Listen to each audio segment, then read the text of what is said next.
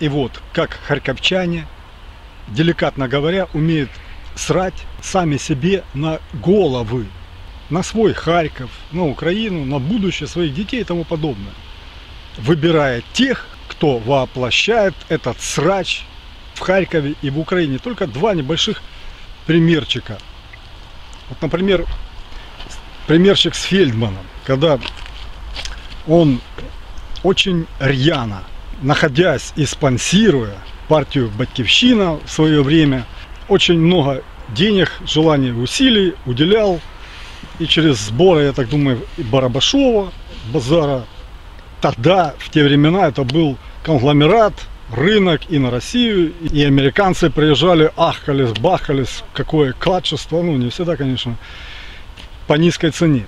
А потом, а потом, собственно, потом, потом он, после того, как власть поменялась, этот самый Фельдман просто ездил до такой низости дойти пошлой, чмошной, низко, ниже вообще всякого людского, человеческого, я уже не говорю о высоких материях, достоинства. Ездил на Подкачановскую колонию, а нет, скорее под ЦКБ, там где Юлю заперти увязнення Янукович тримал и делал порочащие Юлю материалы. Но сейчас дело не в Юле абсолютно. Дело в том, что он перекидывается с одной власти в другую. И харьковчане вместе с ним также с одной власти в другую. То есть они достоинства тоже как такового не имеют, потому что он, они выбирают тех, которые постоянно перекидываются и опрокидывают вместе с этим карманы харьковчан. То есть получается, что сейчас он король, царь тетушек, который избивает барабашовцев, тітушню туди напроваджують українського походження. То есть нация, он же в ермолке ходит в этой иудейской. То есть иудеи подкупают украинцев, которые как так же и в России, в принципе, начинают убивать, избивать друг друга за бабло чужинцев. Вот получается такая хрень, что к барабашовцам приходят бандюки, всякие аферисты и пропонуют им, предлагают работать на схемы, на черный нал. И одну кассу в бюджет города, масенькую, миллиончики, а другую кассу миллиардчики себе на карман, на кишеню. А городу и самим заробітчанам, барабашовцам вот такой факт. теневых денег, э, теневой прибыли э, на рынке Барабашова, это порядка 2,5 миллиарда. Э, месячная оплата в городской бюджет составляет 10-11 миллионов. А дальше считать 120 миллионов в год оплачивают и порядка 2,5 миллиардов снимают. Вот годовой оборот. Существует группировка, которая, ну, правильнее говоря, имеет все признаки ОПГ. І ми завжди об этом говоримо і в поліції, і в прокуратурі. І все через те кажуть бізнесмени, що вони хочуть працювати за законами України, а не за правилами концерну АВЕК та адміністрації ринку, яка, наймаючи спортсменів з битами та зелених чоловічків з кийками, тисне на приватний бізнес.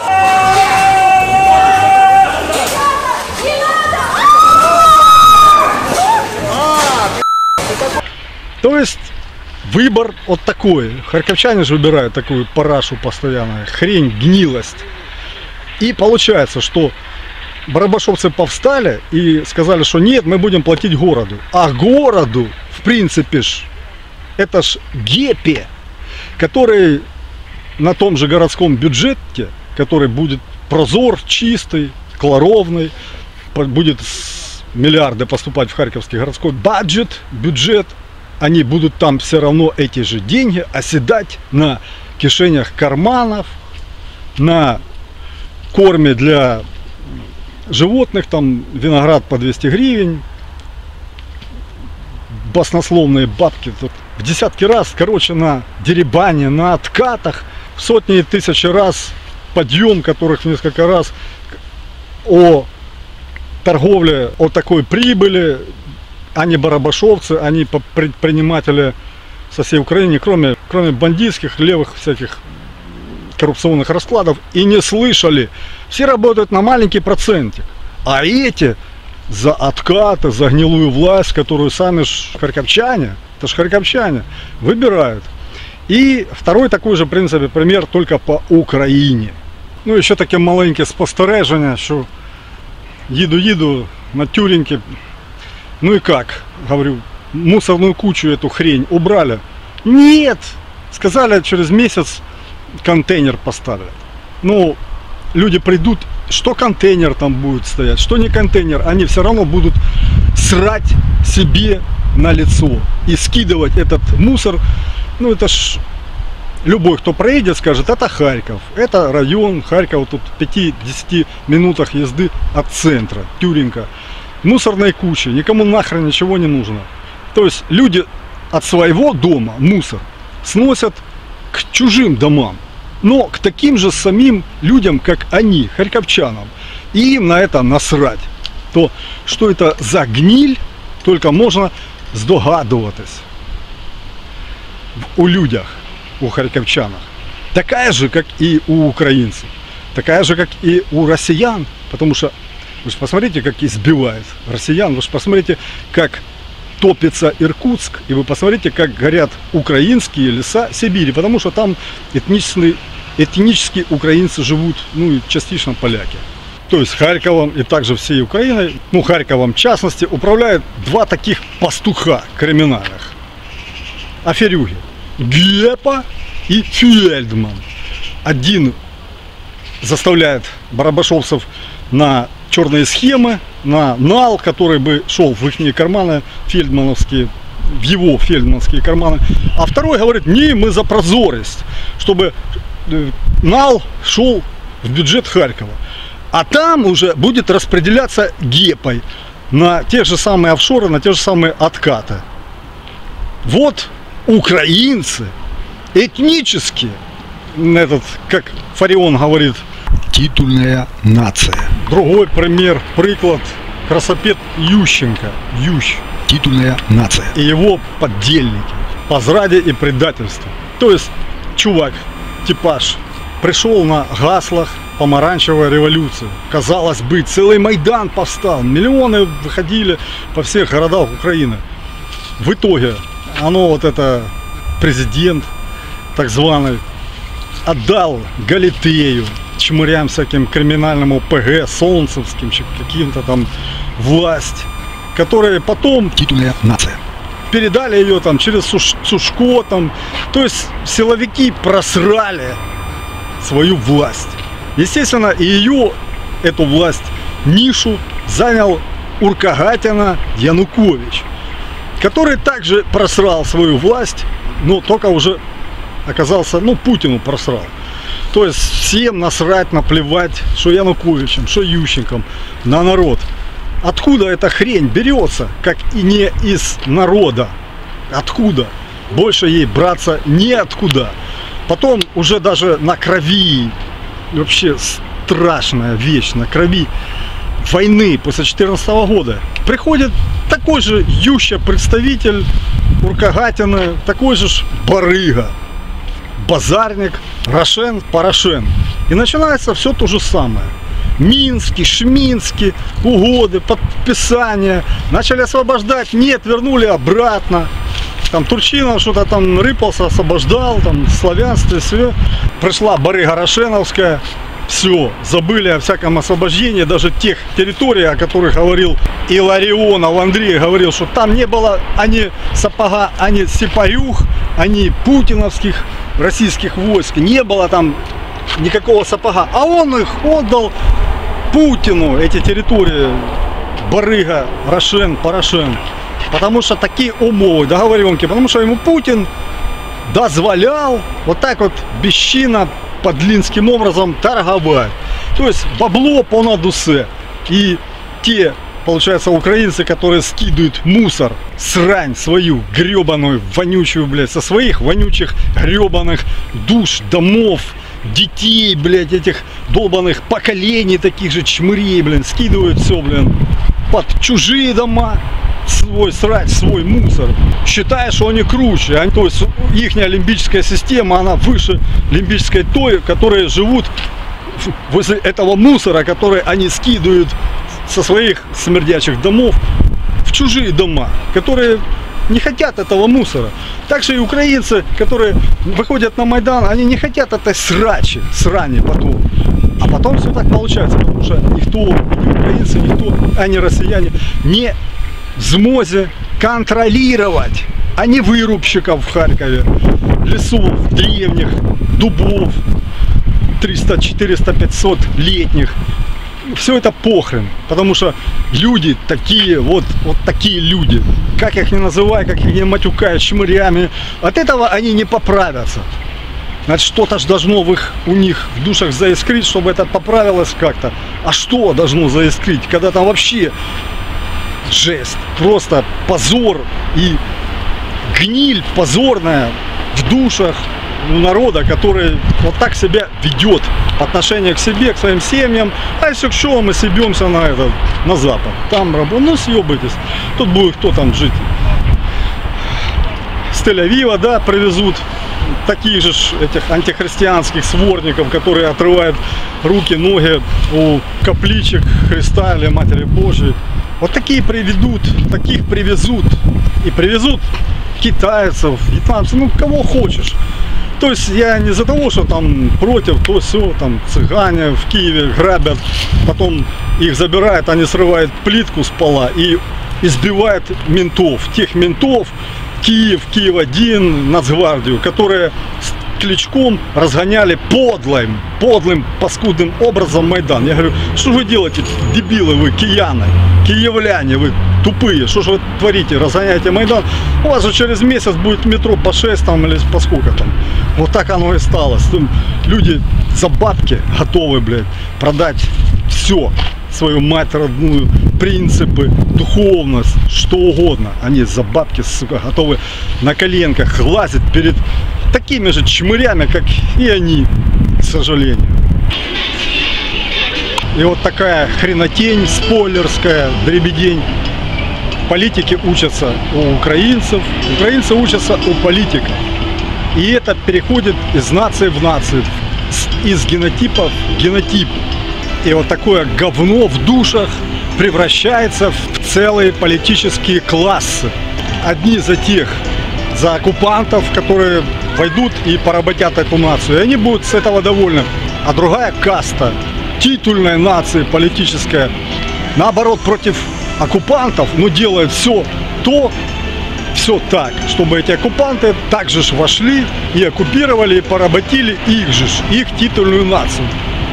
Они преуспевают в этом так же, как и ватники. Также создают свои аналы, каналы, на которых брешут, постоянно обрехивают политику.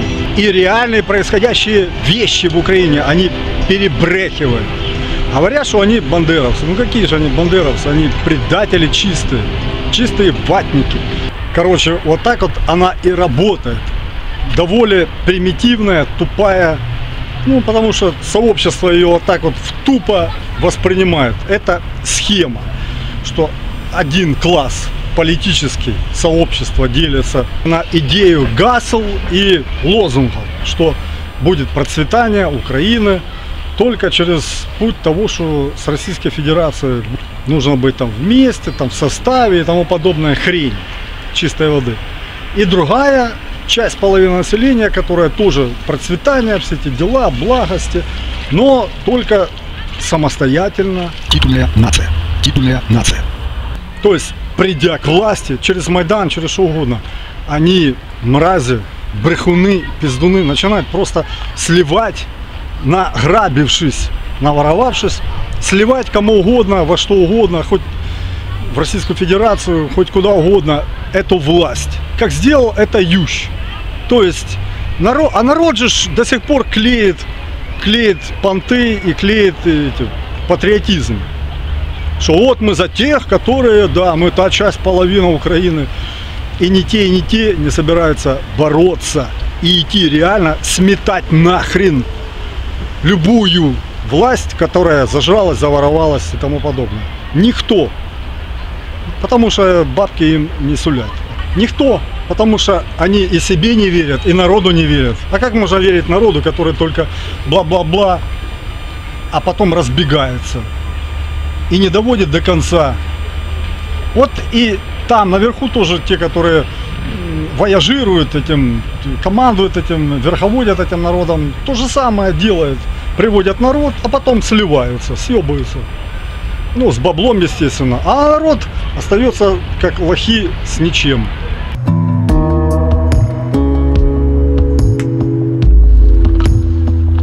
Вот почему же таки, такой народ в такой вот и жопе постоянно. Очаровываться, а потом разочаровываться, потом опять очаровываться и все по-новому. Потому что вот такой характер примитивный еще, недоразвитый.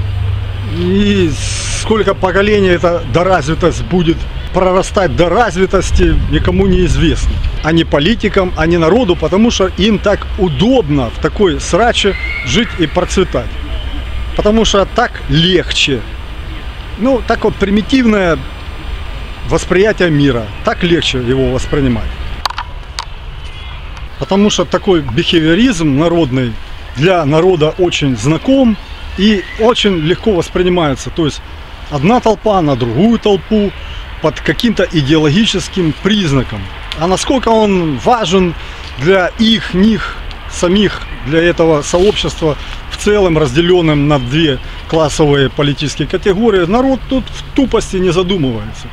Он готов свою страну отдать оккупанту через то, что он борьбой между собой истощит.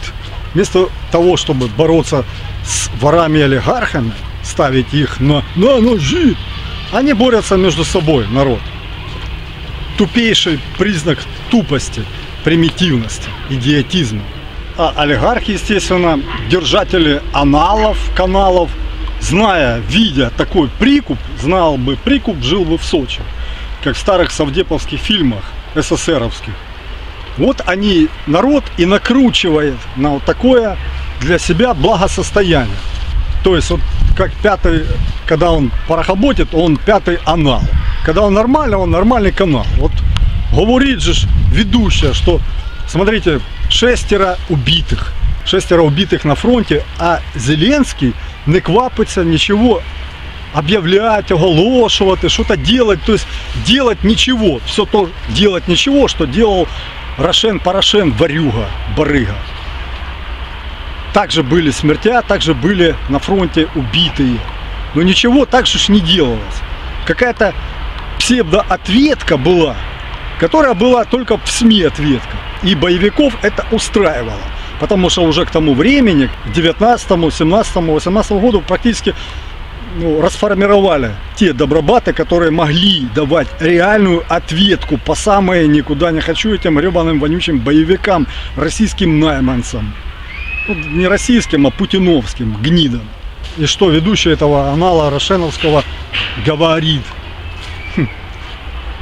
Действует на руку найманцам тех самым российским. Она говорит то, что то есть вот эта порохоботка, ведущая канала, которую слушают миллионы украинцев, пятого, она так интерпретирует эти события, что, мол, объявил Зеленский, нынешний президент на антиукраины, перемирие, а его не соблюли, не соблюдали, так же, как и не соблюдали во время захвата Крыма, во время вторжения зеленых человечков, путятины гребаной в Крым.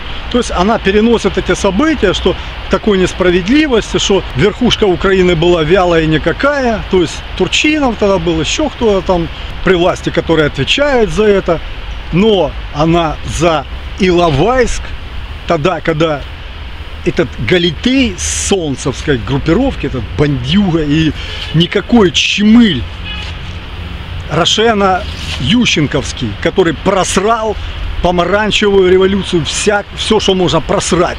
Отдали власть всю рыгам, которые потом эти вонючие рыги, гниды, отдали Путятине всю неньку Украину. Вместе с ее армией, вместе с силовыми и тому подобное органами. То есть она молчит, умалчивает об этом, умалчивает это параде, это там, она умалчивает о котлах, за которых потом выжившим грамотки выписывались всякие. То есть настолько общество разделено классово в этой брехне, что общество в этом не может объединиться, чтобы мочить вместе и батька быты легче. И всю эту вонючую власть. Потому что власти это выгодно, такое общество. А оно, это общество, свою коптилку, свой мозжечок не может въехать в это. И опять делится в то, что легко, то, что весело скакать, прыгать на Майданах, жрать, там опять скакать, чьи-то деньги вытрачать, потом этих те, чьи деньги вытрачены были на Майдан, на инфраструктуру Майдана, будут ставить к власти, чтобы они отбивали эти деньги, и опять 25, то есть во всем виноват народ, который приводит говно к этой власти. То есть бойцы на передке все страдают от этого народа, к сожалению, который ну, не хочет никак, ему увеселительность дороже своей жизни, жизни своих детей, поколений и так, далее и тому подобное. То есть примитивизм свой намного важнее, нежели будущее своей страны, своих детей, своих поколений. Жуть. Но несмотря даже на всю гнилость, неповоротливость, чмошность той власти, весенней власти 2014 года, все-таки благодаря добробатам Украины шло, происходило освобождение Украины. И уже оставалось лишь чуть-чуть, покуда не пришел Рошен Порошен и затормозил это освобождение. Вот она об этом молчит, тупая стерва, сука манипуляционная.